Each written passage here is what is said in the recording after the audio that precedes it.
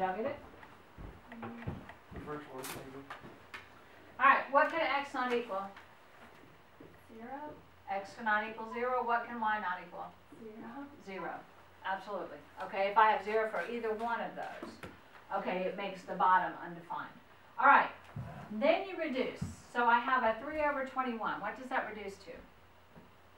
one over negative seven. Okay, or I can have the negative on the top or the bottom. It really doesn't matter. Okay, just put it on one or the other. It doesn't matter. Okay, what about the x? X and. And where's it gonna go? Bottom, okay?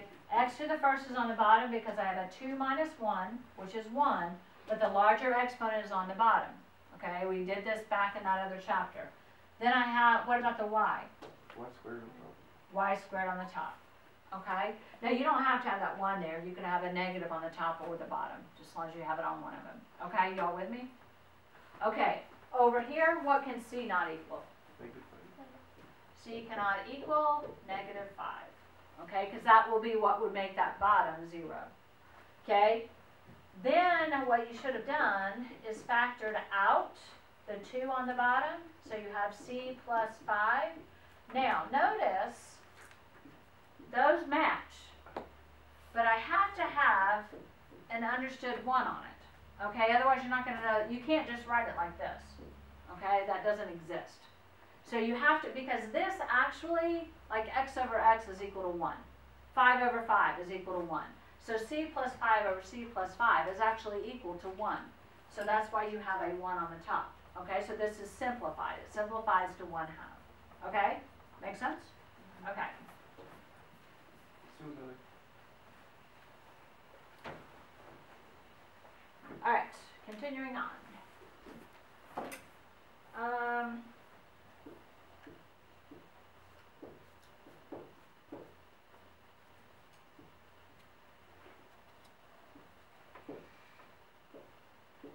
this you did in that other section. Okay? Now, I've got multiplication between nine. So I can multiply straight across and then reduce it. If I could reduce it first, I'm allowed to do that, but I can't on this one. So what I'm going to do is I'm going to multiply straight across, and I'm going to get 6a squared b c squared. And on the bottom, I'm going to get 40a cubed b squared and c. Okay? a, b, or c cannot equal 0. Okay? Um, sometimes they ask you for that, sometimes they don't. Sometimes they just want you to simplify it. All right, so when I simplify it, what am I going to do? What about that number, 6 over 40? What does that simplify to?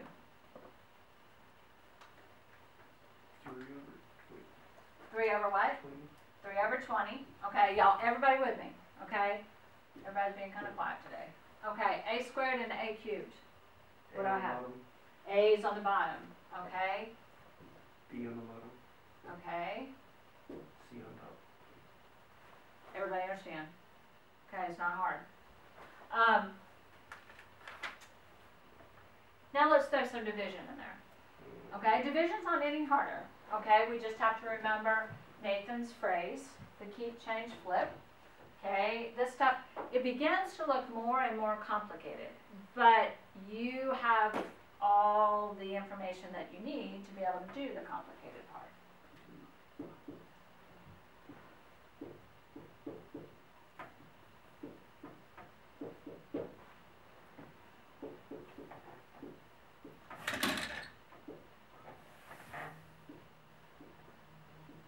All right, I've got division. What am I going to do? Keep change, flip. I'm going to keep this one.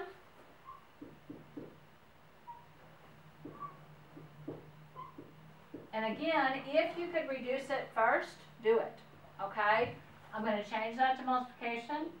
The 5ab to the fourth is going to go on the top. The 2xy squared is going to go on the bottom. Now, you guys know that you can cross reduce. Okay, if you don't want to cross reduce, then you multiply straight across, but then you got a big old long thing. So I would cross reduce if I could. Um, let me change the color here. Okay, the eight and the two is gonna give me a four on the top and a one on the bottom, right? The five and the fifteen is gonna give me a one on the top and a three on the bottom. Does everybody know what I'm doing? Okay, I'm just assuming that y'all remember this. Okay, the x cubed and the x, what's that gonna give me? X squared x squared and it's gonna be on the top, and I'm gonna mark that out on the bottom. Okay, um, y and y squared, top. Y and bottom. y on the bottom. Okay, then I'm going to move this way, I have an a and an a squared. Nathan goes, I'm tired of answering, somebody A else on the answer. A on the bottom. I have a b and a b to the fourth, what's that gonna be, Ren? So B and uh B two, B squared. Anybody disagree with that? Yeah, I Disagree. yeah. Elena, what is it? B cubed on the top. b cubed on the top, cause I have a four and a one, okay? Is it always like what adds up? You subtract, Oh, you're subtracting, and then you're placing it that's why I was confused. I was like, are we subtracting or are we dividing? yeah, because it's division, you div- you subtract the exponents, if you remember back to that other section, okay? Now I'm taking all the blue on the top and multiplying it together, so, and I'm gonna put it in alphabetical order, so that's four b cubed x squared on the top. On the bottom, I have a three a y, and just make sure there's nothing else that you can reduce there when you're done. Okay? The higher one always goes on. Right? The, it, Uh, Whatever the one's on, the higher one. yes, you always put it where the higher exponent is. Subtract the smaller from the larger and place it where the higher exponent is. Have we Are- done this? Oh yeah, y'all remember doing this, right? Yeah, multiple It hadn't been that long ago It's actually my that we did it the last time. All right, um, what about something like this? You get this, right? Maybe I should give you one of those. Um, okay, let me give you this one to do and then we'll go on to the harder part. None of this is real hard, so, you know, don't think that it's gonna be, um, getting called out. well, I think I need to start calling on you guys because y'all are getting comfortable just letting somebody else answer.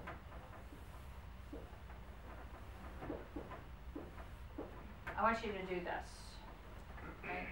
Do that.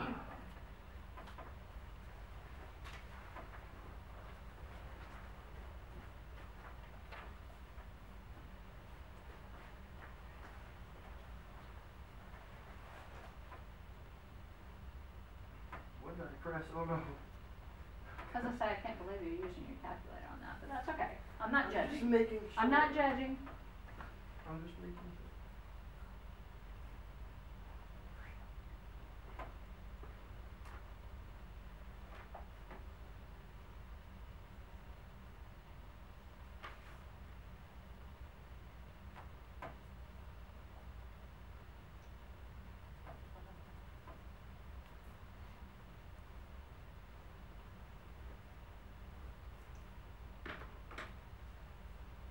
having a hard time figuring out whether y'all, that this is really easy for you or you don't understand it because the looks on y'all's faces today are just not helping me.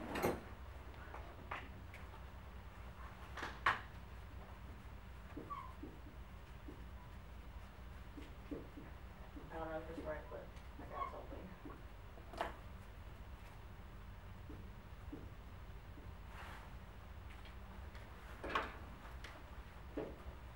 I don't know. both of these.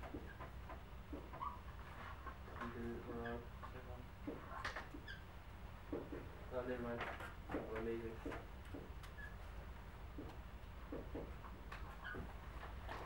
Got it. Got it? Just be. Okay, that's, you know, I always write it like that and then, like you probably could have figured out here that those two go, but I didn't even see that until I multiplied across. And then once I saw it, then you go, oh, okay, those go, and it's just B. Everybody good with that? Yeah. Okay, let's go one step further.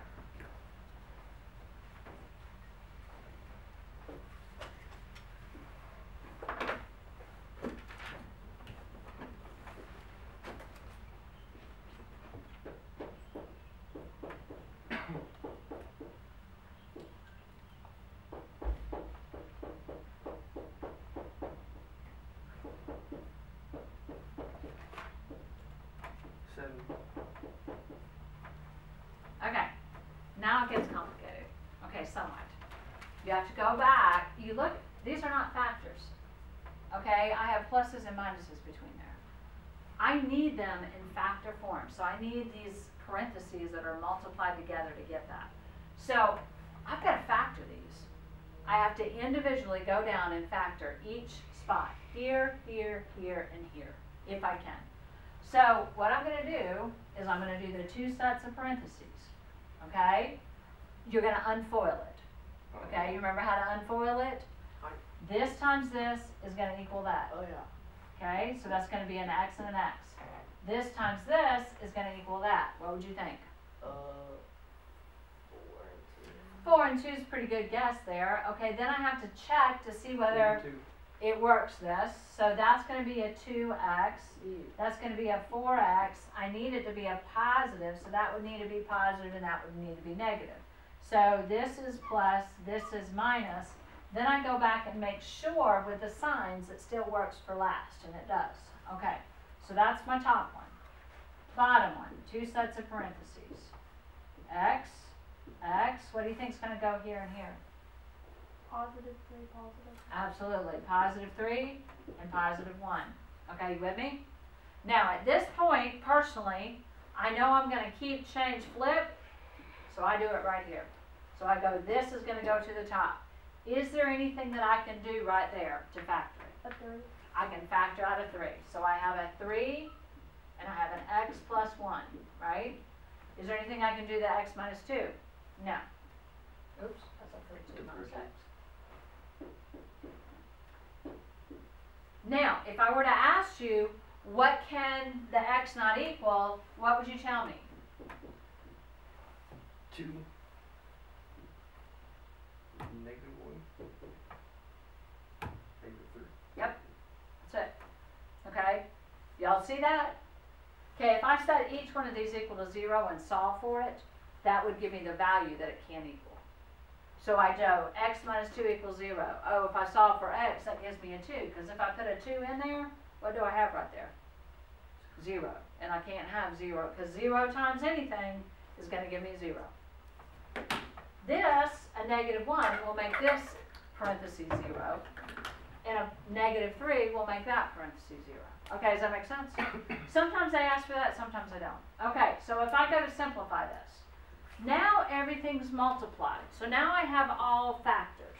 This times this times this times this, this times this times this. They're all factors.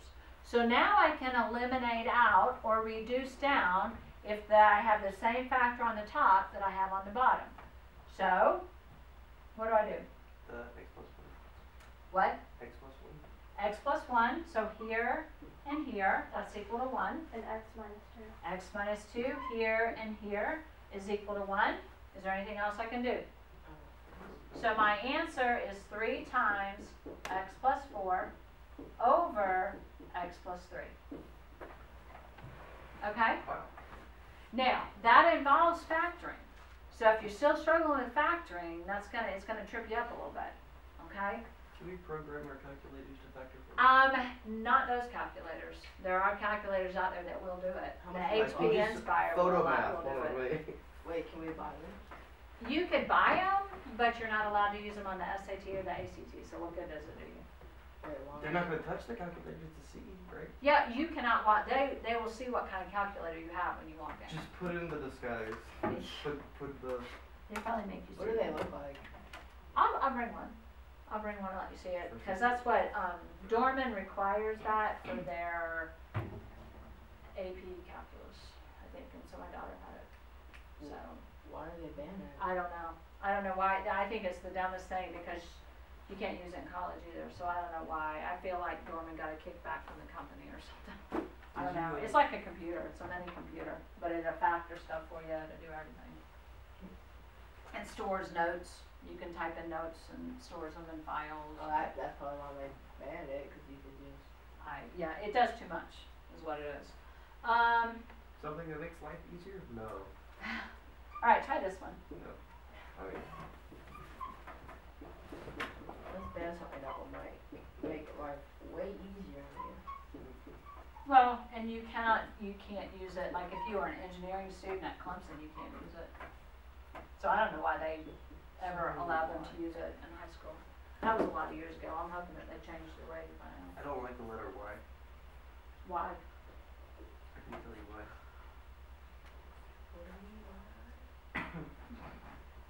Um, so we can read Yeah, go, if we go for it. Now remember, you can't read, you don't have factors yet, so you can't mark anything out. You gotta factor it first before you can mark anything out.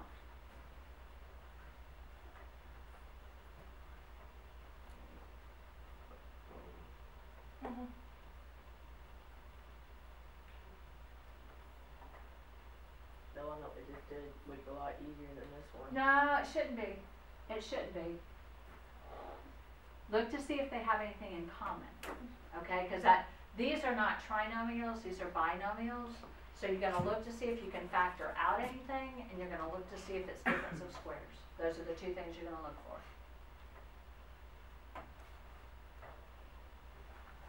So what do I do if it is the difference of squares? Oh, wait, never. You remember? I think. Uh, 14? is the tree.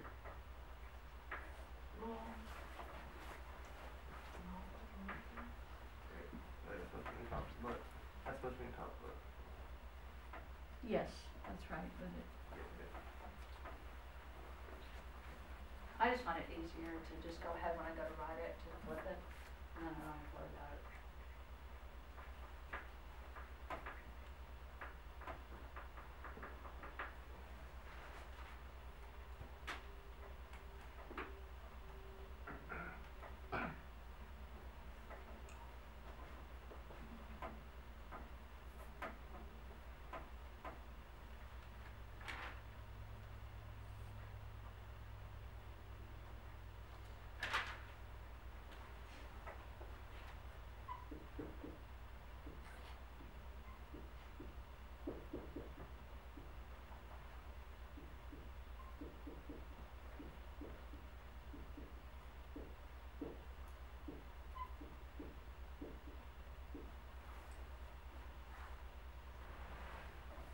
asked you what y cannot equal, or what it's undefined for, it would be 0, negative 5, and positive 2. I don't think that's a problem.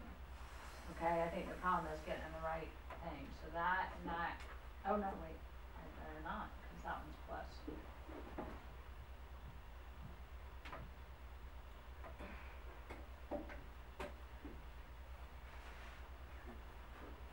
Okay, so I have on the top, I have a y plus 2 becomes a y minus 5. And on the bottom I have a y squared times a y minus 2. And that's all I can do. It that's confusing because there's so many y's. There are. There are. And we want to look at it and go, oh, let me mark out some of these y's. Well, you can't, if you have to separate those two, you can't do it. Okay, the whole thing has to go. Does that make sense? So let's do another one. Random your whole body has to go out the door, leave, Huh? ne- never come back. Buddy, you just licked that toy shop that came the that. taste is still on the back of my tongue. It tastes horrible. I wonder why you licked it. Worst decision I've ever made in my life. Let's hope that stands. I, uh, it tastes like disease. Oh. Probably gonna get sick now. Those kids probably coughed on their hands and then played with it. I could almost guarantee That's- that. That's that's the best thing they could have done.